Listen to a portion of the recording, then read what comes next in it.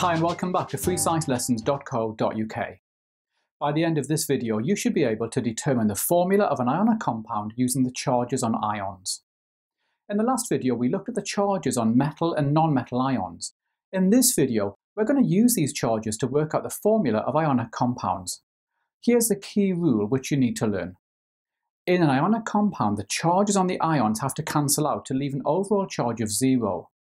I'm showing you three ionic compounds here, and you can see that all of these have no overall charge. No ionic compounds have an overall charge. So we're going to see how to work out the formula of an ionic compound. Let's start by looking at a simple ionic compound, which is sodium chloride.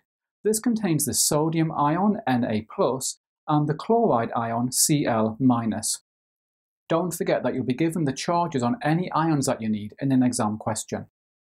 So how do we work out the formula of sodium chloride? If we look at the ions, we can see that the sodium ion has a single positive charge and the chloride ion has a single negative charge. This means that one sodium ion can cancel out the charge on one chloride ion. So the formula of sodium chloride is NaCl, and here it is. If we had two sodium ions, then the compound would have an overall 1 plus charge, which I'm showing you here, and this is not allowed. Similarly, if we had two chloride ions, then the compound would have an overall 1 negative charge, and again that's not allowed. Here's another ionic compound, sodium oxide. Let's work out the formula of this compound. As we've seen, the sodium ion is Na+, the oxide ion is O2-, remember that the charges have to cancel. Now this means that we need two sodium ions to cancel out the charge on one oxide ion.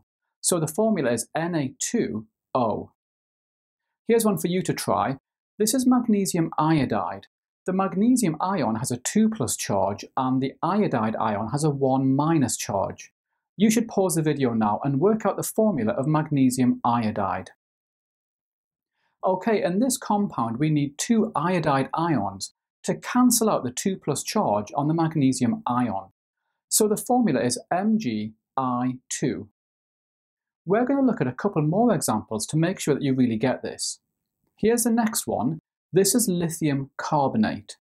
The lithium ion has a charge of 1 plus, and the carbonate ion has a charge of 2 minus.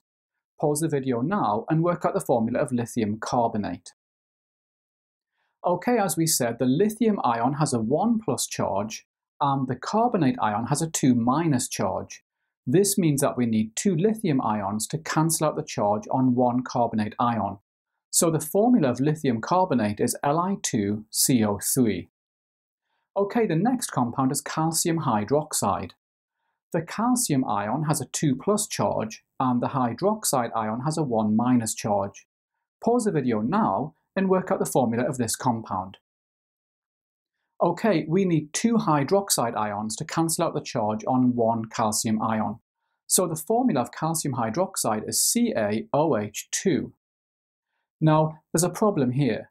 If we place this small 2 directly to the right of the OH, then this means that we have two hydrogen atoms rather than two hydroxide ions. We've got to put brackets around the hydroxide to show that the little 2 multiplies the whole hydroxide by 2. So this is correct, whereas this is wrong. Okay, here's a final example for you to try. This is magnesium nitrate.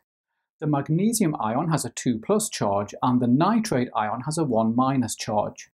Pause the video now and work out the formula of magnesium nitrate. Because the magnesium ion has a 2 plus charge, we need two nitrate ions to cancel this out.